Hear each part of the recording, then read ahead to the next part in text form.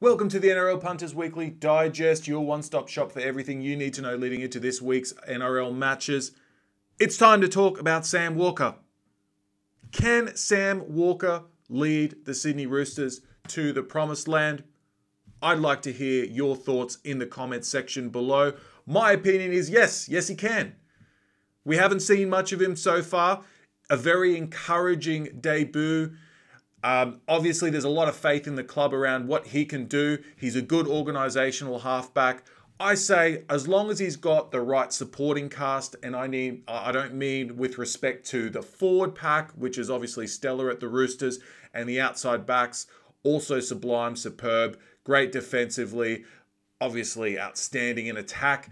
I'm talking more about the supporting spine. Take James Tedesco out of the picture. We know what Teddy gives us.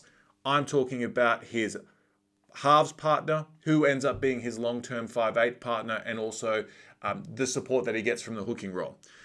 I don't see Drew Hutchinson as being the long term answer at 5'8 for the Roosters, at least moving forward. I think when Lachie Lam comes back, he'll probably sl- uh, slot into the halves. And with respect to the hooking position, obviously Freddie Lussick is just kind of filling a void at the moment with Sam Verrills and Jake Friend being out with injury. But on the bright side for the Roosters, they get Sam Verrills back pretty soon, which means he's going to have that added support in the hooking role and Lachie Lam comes back very soon too. So all he needs to do is he just needs to stick to his game plan. He just needs to be the organizational halfback that the Roosters have always had. He needs to be that Cooper Cronk type player.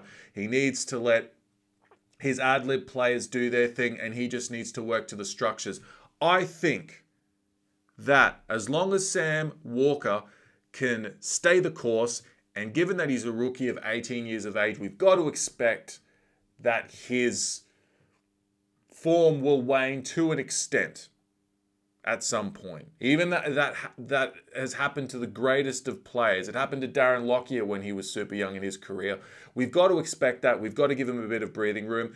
But they've got a whole season to build with Sam. So as long as he can stay consistent, I think that the Roosters premiership window is still open. Again, let me know your thoughts in the comments section below. If you like this video, give me a like. Make sure you make sure you make sure you subscribe and turn on your notifications. I've been Ben. I'll see you next week.